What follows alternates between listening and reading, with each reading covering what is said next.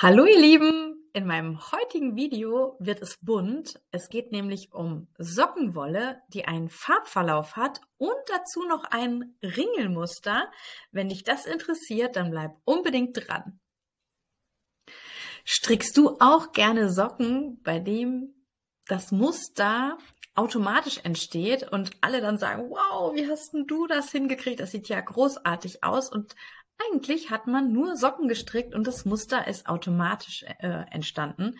Und genau so funktioniert das bei den neuen Paint Socks von Lendunor.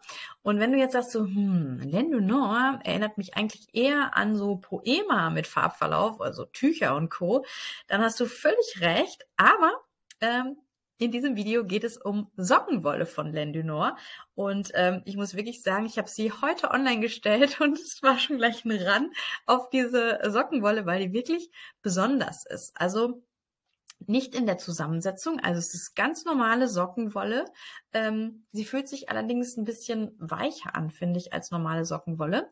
Ähm, das Besondere ist der Farbverlauf. Ich gehe mal ähm, näher dran.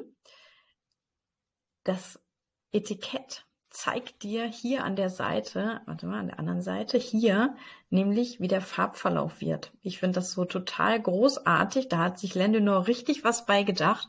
Das heißt, ähm, an dem Etikett, an der Banderole könnt ihr den Farbverlauf sehen, weil wenn man sich jetzt das Knäuel zum Beispiel anguckt, kann man sich das schlecht vorstellen. Ähm, aber wenn man dann die Banderole dazu sieht, wird es deutlich. Fünf Farben habe ich in mein Wollgeschäft bekommen und diese fünf Farben stelle ich dir auf jeden Fall jetzt mal vor. Das ist Farbe Nummer 10 und ähm, so sieht das Etikett aus und ich halte den Bobbel mal so ja in die Kamera, dass du es möglichst gut sehen kannst. Das ist ja so ein ähm, rot-lila ockerfarbene ja Socken, der daraus entsteht. Und es ist halt immer so, es gibt eine Grundfarbe, die machen diese einfarbigen Streifen, wie du sie hier siehst. Und dann gibt es diesen wundervollen Farbverlauf. Und so entstehen Socken mit einem Ringelmuster plus Farbverlauf. Also das ist Farbe 10. Wenn du dir das noch genauer anschauen möchtest, dann guck dir das super gerne in meinem Online-Shop an. Da habe ich die fotografiert und da kannst du das noch besser sehen. Auch mit ähm, der Banderole, die kann habe ich auch fotografiert. Also genau, das äh, wird dann einfacher. Das ist Farbnummer 20, die hatte ich eben schon in der Hand und das ist auch der Socken, der hier auf der Banderole immer drauf ist, dieser wundervoll bunte mit blau, grün, gelb, orange, rot. Und ähm, hier, wie gesagt, an der Banderole kannst du auch wieder sehen, wie der Farbverlauf wird. Und ich halte jetzt mal ganz nah dieses Knoll ähm, in die Kamera. Ich finde, ja, man sieht halt schon, dass da die Streifen auf jeden Fall rauskommen und dann halt der Farbverlauf. Farbe Nummer 30. Das sind so ähm, Ockertöne, wie du hier siehst, finde ich auch richtig cool. Also kann ich mir richtig cool für ähm, Socken richtig gut vorstellen, weil das halt so ein ähm, bisschen gedecktere Farben sind und nicht wie Farbe 20 so richtig mega äh, bunt. Also hier, wie gesagt, super, super schön. Also man sieht das schon wieder, die Streifen auf jeden Fall rauskommen. Das ist so ein eher ähm, ähm bedeckterer ähm, Farbverlauf. Genau. Und dann tada, für alle, die lila mögen, dieser Farbverlauf finde ich also muss ich sagen, das ist mein Lieblingsfarbverlauf. Der Verlauf läuft in lila Tönen, aber da ist auch ein bisschen äh, rot mit drin. Du kannst das hier an der Banderole auf jeden Fall sehen. Und ich weiß nicht, ob das in einem Video so gut rauskommt. Die Grundfarbe, die quasi diese einfarbigen Ringel macht, sind bei jedem Socken auch leicht anders.